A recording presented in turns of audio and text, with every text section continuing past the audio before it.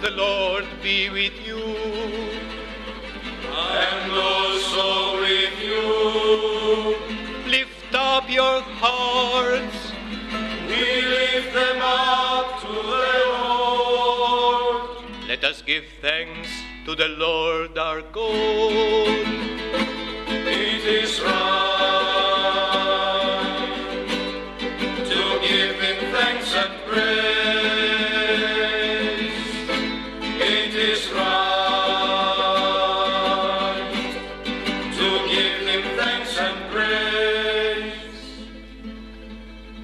Father, it is our duty and our salvation, always and everywhere, to give you thanks through your beloved Son, Jesus Christ.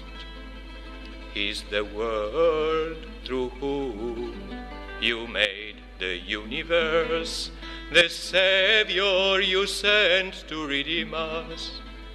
By the power of the Holy Spirit, he took flesh and was born of the Virgin Mary.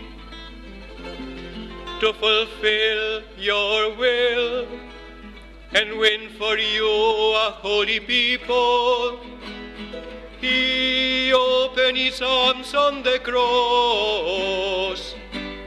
Dying, he overcame death and revealed resurrection.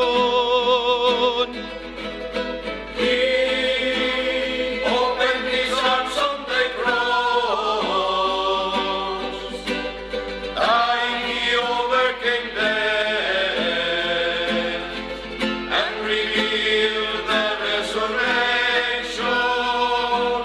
So, for this mystery of salvation, we join the angels and saints in proclaiming your glory, as today joyfully we sing.